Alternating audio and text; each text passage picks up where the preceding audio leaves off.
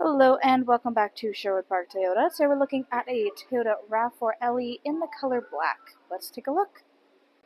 Starting up front here, underneath the hood, we have a 2.5 liter four cylinder engine, automatic transmission, gets up to 203 horsepower, 184 pound foot of torque, and you've got towing capacity up to 1,500 pounds. Up front, you have your LED headlights and customary daytime running lights. Along to the side here, we have 17 inch steel wheels with wheel covers. Side mirrors have integrated turn signals and blind spot monitoring as well. As you move back, all of your rear windows come with factory tinting. Approaching the back here on the right hand side, you have your LE all wheel drive trim level badge. Left hand side is your RAV4 badge. And then underneath the rear logo is your backup camera. To open up your rear cargo space here, reach underneath the logo, press the button, and lift upwards. Inside, you'll find your second row seating has a 60-40 split on the left-hand side, allowing each side of the seats to function independently.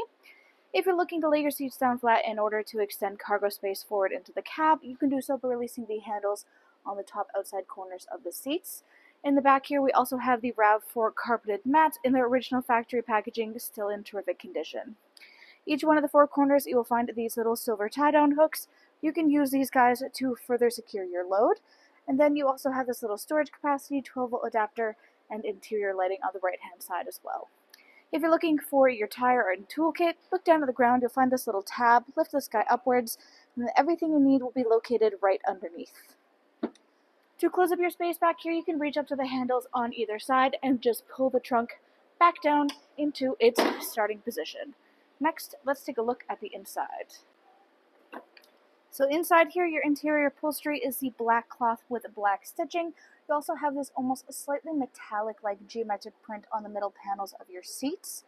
In the middle, in between the two, you have access to your folding down armrest slash cup holder, which can easily be folded away to increase your seating capacity.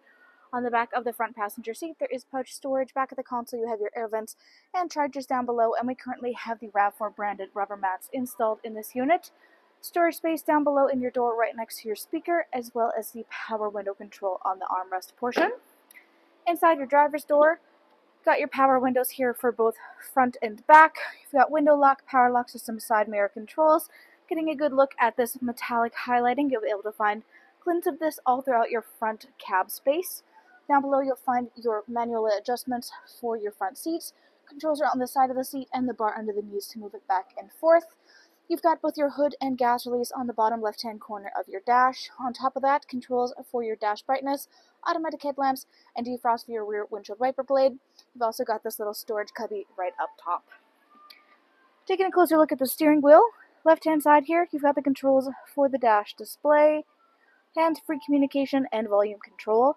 Right hand side, radio controls in the bottom, adaptive cruise control up top, which includes a sonar and lane departure. In the middle here, is your infotainment display screen. This is where you go to access much of the information about your daily driving experience. Currently, you're looking at your customizable home screen. Under that is your menu. So in here, you have your audio phone app projection info display in the bottom corner and then set up in the center bottom. Everything from general Bluetooth, audio, phone, voice, apps, clock language, beep sounds, theme color settings, etc. Then, audio listening, AM and FM radio, full Bluetooth connectivity, and optional USB adapters. And at the bottom is your optional navigation. You can choose to connect that through Toyota Connected Services. All along the right hand side is all of your radio controls, tune scroll on the bottom right, volume control on the bottom left, four ways in the middle. Underneath is your climate control center. You have your defrost for your front and rear windshield central in this space here. Underneath that, you have your traction control and high-low controls for the two front heated seats.